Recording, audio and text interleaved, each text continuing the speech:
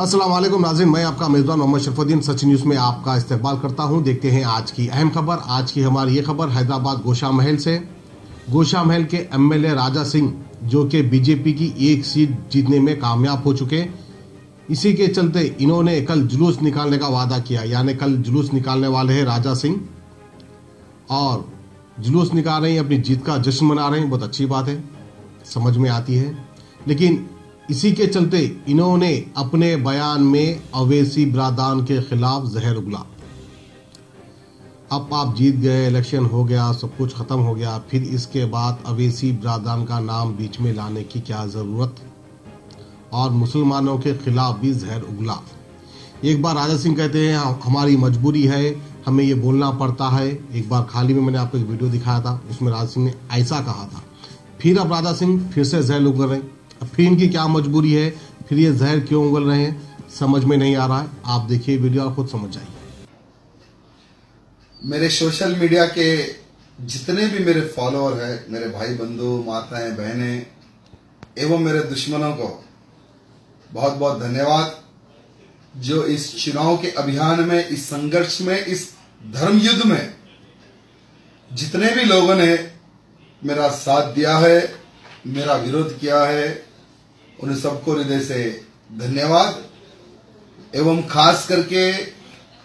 मेरे दो साले छोटे साले भाई बड़े साले भाई को भी धन्यवाद जो खूब एग्रेसिव मेरे खिलाफ प्रचार करे हमारे दोनों साले भाई मिलकर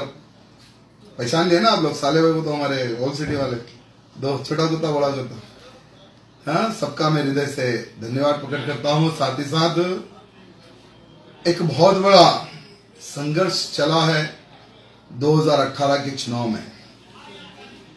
पूरी टीआरएस पार्टी की ताकत कांग्रेस पार्टी की ताकत एवं देश विरोधी एमआईएम पार्टी की ताकत किसी भी हाल में राजा सिंह को हराना ये एक संकल्प इनका रहा है लेकिन अच्छी बात यह है कि मेरी घोषामेल विधानसभा की जो जनता है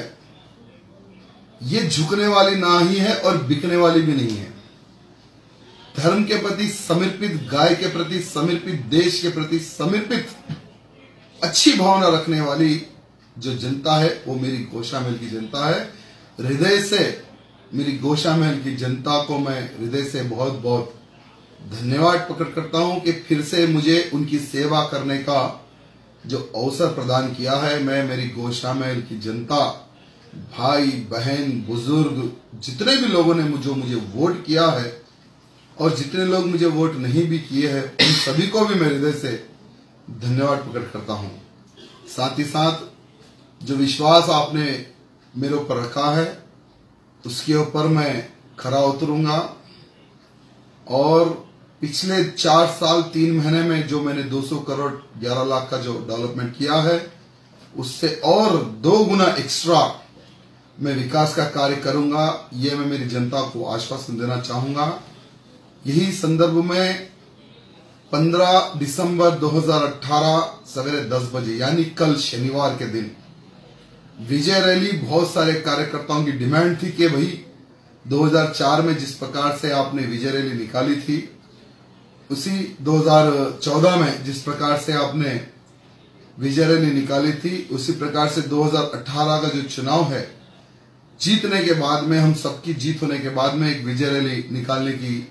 आवश्यकता है उन सभी कार्यकर्ताओं की डिमांड को मैं ध्यान में रखते हुए 15 दिसंबर 2018 सवेरे 10 बजे यानी कल शनिवार के दिन सवेरे 10 बजे एक विशाल बाइक रैली विजय रैली का आयोजन किया गया है मैं मेरी गोशा महल के जनता भाई बंधु माताएं बहनें खास करके मेरी युवा टीम को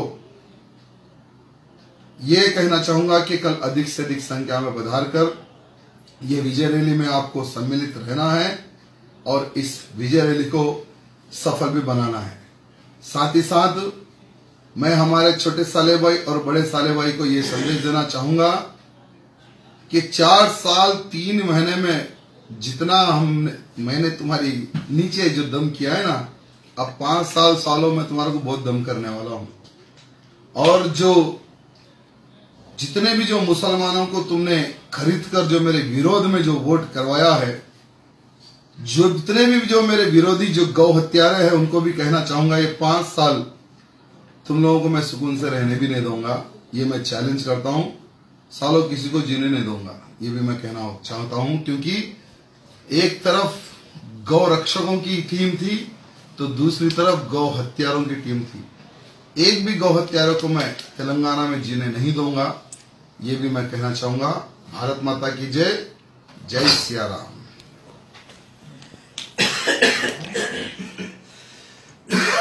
Ghazi kidney centre and multi speciality hospital गुर्दे और बबासीर के इलाज का 40 साल मशहूर हॉस्पिटल जहां हजारों पेशेंट्स क्योर हो चुके हैं doctor Husaini international national award winner और दूसरे डॉक्टर्स और लेडी डॉक्टर्स की जेर खिदमत गुर्दे के तमाम अमराज का मुकम्मल ट्रीटमेंट किया जा रहा है गुर्दे फेल हो चुके हों डायलिसिस करवा रहे हों याद रखिए डायलिसिस कोई इलाज नहीं इससे एक फीसद भी गुर्दे रिकवर नहीं होते हाँ डायलिसिस टेम्पररी रिलीफ दे सकता है लेकिन हमारे ट्रीटमेंट से गुर्दे फिर से फंक्शन में आ सकते हैं गुर्दे श्रिंक हो गए हों या सिस्ट हो गुर्दे की पथरी हो कैसी भी गुर्दे की तकलीफ हो या पाइल्स यानी बवासीर चाहे ब्लीडिंग हो या कोम बगैर ऑपरेशन मुकम्मल क्योर ट्रीटमेंट का एक ही centre Ghazi kidney Center, DLRL Main Road, opposite Vikas High School, Chandrayan Gutta, Hyderabad. Cell 9966930824 ya 9391326261.